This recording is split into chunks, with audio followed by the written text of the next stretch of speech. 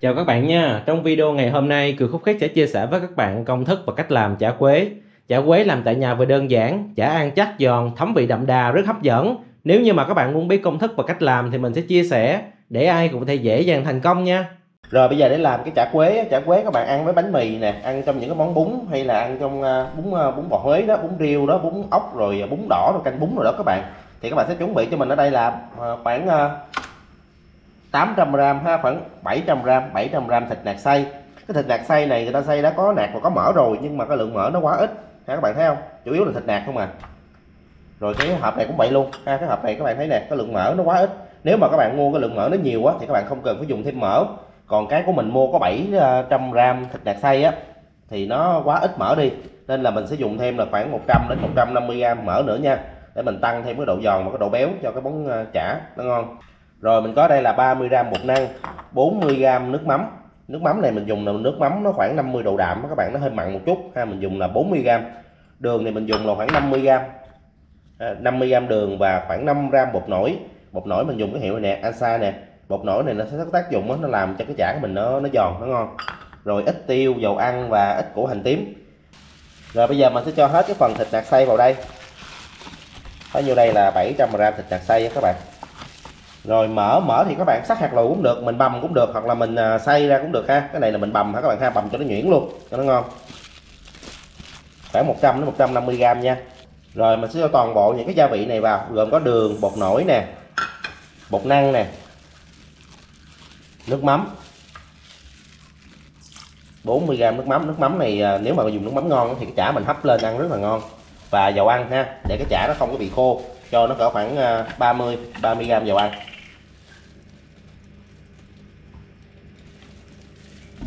Rồi còn cái tiêu thì lát nữa mình sẽ chia ra làm hai phần. Tại vì nhà mình ờ, làm cho mấy bé nó ăn nữa đó nên là mình tiêu để làm hai phần. Phần nào có tiêu thì người lớn ăn còn phần nào không có tiêu thì mấy bé ăn. Bây giờ mình sẽ trộn đều ha các bạn ha trộn đều cho gia vị nó tan đều ra hết với lại cái phần thịt nạc xay này. Ví dụ như cái thịt nạc xay này khi mà mua về mình chưa làm thì các bạn cứ bảo quản ở trong ngăn mát tủ lạnh. Ngon nhất là ví dụ như các bạn mua được cái ngày sản xuất ngày hôm nay ngày đóng gói á, là ngày hôm nay ha thì thịt nó tươi đó mình làm ăn nó sẽ ngon nhất. Còn nếu mà không có thì các bạn mua ngày hôm qua cũng được nhưng mà đừng có mua ngày hôm kia ha nói chung là nó cỡ khoảng một ngày. Nó xe xích cỡ khoảng một ngày là được. Chứ mà mua thịt lâu quá thì mình về mình làm ăn nó không có ngon ha. Cái độ tươi nó không còn, cái độ dẻo dai nó cũng giảm đi nhiều. Thịt mà sau khi mà mình trộn cho nó đều đó các bạn, thì bây giờ mình chia ra làm hai ha. Một phần á, mình à, cho nó vào trong cái túi zip. Để mình à, làm đông nó. Sau khi cho vào trong túi zip xong rồi thì các bạn cứ cho nó vào trong ngăn đông của tủ lạnh ha. Mình để cỡ khoảng à, 3 tiếng. 2 đến 3 tiếng, nó tùy vào cái tủ của các bạn á. Nó nhiều đồ, ít đồ nữa. Ít đồ thì để khoảng 2 tiếng là nó nó đông à. Nó đông, kiểu đông dẻo dẻo á. Còn nếu như mà tủ mà nhiều đồ quá thì nó mất cỡ khoảng 3 tiếng ha. 3 4 tiếng thì nó sẽ đông lại. Cái túi zip này thì các bạn ra chợ mua là có. Còn ví dụ như các bạn à, không biết chỗ mua thì các bạn cứ để lại bình luận ha. Mình sẽ gửi cho các bạn cái à, cái shop bán cái túi zip này nè. Túi của mình đang dùng là túi 20 có nhiều cái túi lắm. 15 18 20 mình dùng túi 20 cho nó bự ha cho thoải mái. Cho hết vào rồi đó thì các bạn ép cho nó dẹp ra nó mỏng ra. Độ dày nó cỡ khoảng 1 cm thôi nha các bạn là nó vừa. Nó càng mỏng như vậy thì thời gian à, đông đá của nó sẽ càng nhanh chứ đừng để dày quá. Cái miệng túi thì mình dép lại để cho nó kín ha nó không có bị à, ám cái mùi tủ. Thường thì về cái tỷ lệ giữa thịt và mỡ của trong cái thịt nạc xay á, thì à, mình cũng không biết nữa.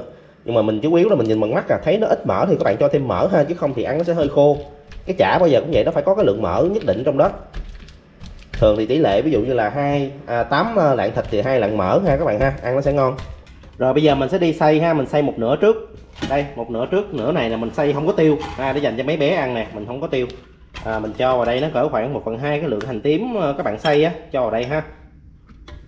Tầm cỡ khoảng à, 4 củ hành tím là được rồi mình không cho tỏi mình để tầm có khoảng 3 4 tiếng, bắt đầu nó nó dẻo nè các bạn ha. Dẻo thì mình ngắt cục nhỏ nhỏ mình cho vào nha.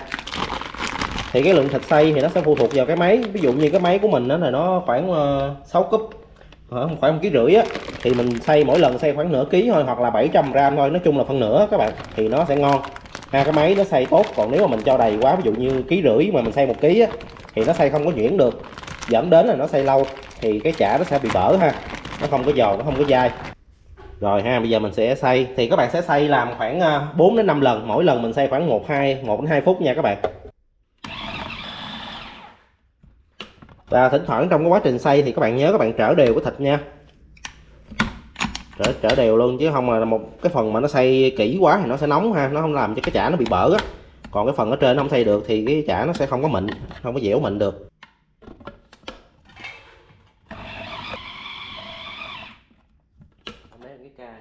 Thì ha cứ xay được một hai phút á, thì các bạn trở đều cái thịt một lần nha. Làm lại như vậy lặp lại như vậy khoảng từ 4 đến 5 lần là cái thịt nó sẽ dẻo mịn và nó cực kỳ ngon luôn.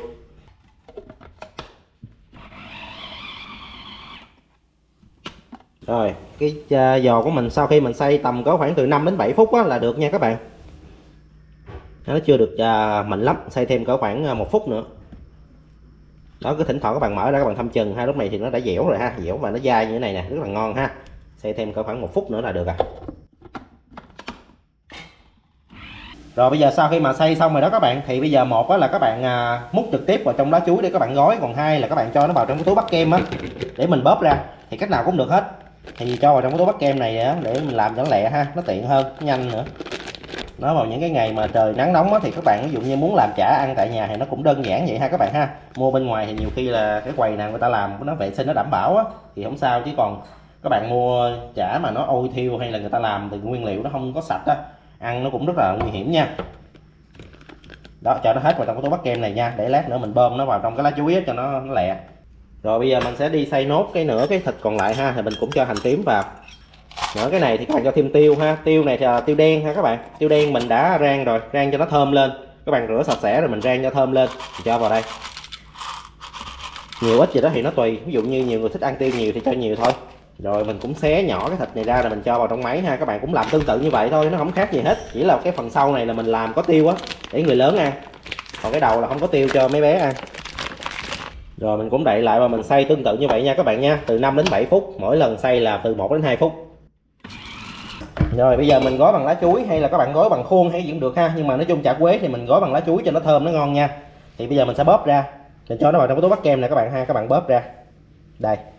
Bóp ra như thế này nha một cái à, miếng chả thì nó dày nó nó, nó dài có khoảng 10 cm thôi ha các bạn ha là nó vừa. Đừng có cho nó dài quá dài quá thì nó không ngon. Đó cỡ như thế này. Rồi bây giờ mình quấn lại thôi gói chả lại thôi.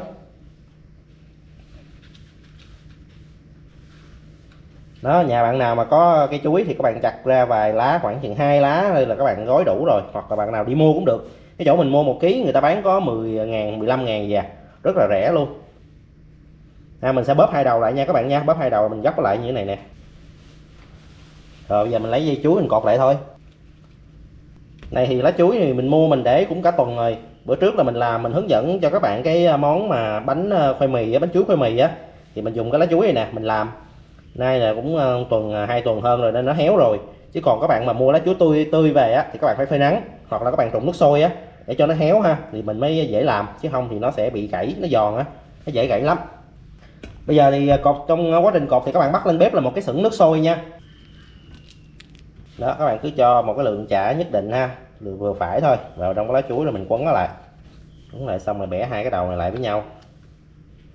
Đó gói thì nó đơn giản vậy thôi ha. Xong rồi mình cột dây.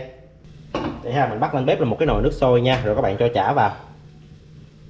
Thì cái chả quế này nó nó, nó nhỏ đó các bạn nên mình hấp nó cũng nhanh. Nếu mà tính từ lúc nước sôi thì các bạn hấp cho mình nó khoảng 15 phút ha 15 20 phút là cái chả chín nè còn ví dụ như các bạn dồn vô cái đòn chả một ký thì nó mất cỡ khoảng ờ, 50 ha 50 đến 60 phút thì nó mới chín. Đó, thì cái đòn chả này ờ, một cái cây chả như vậy nó cỡ khoảng 50 đến ờ, 100 gram mà rồi chả của mình sau khi mà hấp chín rồi nè các bạn ha, thì bây giờ mình à, tắt bếp tắt bếp, lấy ra để nguội nha. Thì bản thân cái chả của mình làm á là nó đã vừa ăn rồi, các bạn ăn với những món nước như là món bún như mình nói với các bạn á, món bún bún bò nè, rồi à, bún riêu bún ốc rồi đó các bạn ha là nó cũng vừa ăn rồi nhưng mà muốn ngon nữa thì mình chấm với muối tiêu chanh nha đơn giản là muối tiêu rồi bắt thêm miếng chanh vào thôi cái vị của nó sẽ là mặn mặn chua chua á chấm với cái chả này chả này này nó cũng có tiêu rồi ha các bạn ha rất là ngon luôn nè Ok ha, thì hy vọng rằng qua video này Cường quốc Khách đã chia sẻ với các bạn công thức và cách làm chả quế. Hy vọng rằng là các bạn thích món chả này nha. Nếu như mà thích thì đừng quên bấm chia sẻ và bấm đăng ký channel. Cảm ơn các bạn rất nhiều. Hẹn gặp lại các bạn trong những video tiếp theo.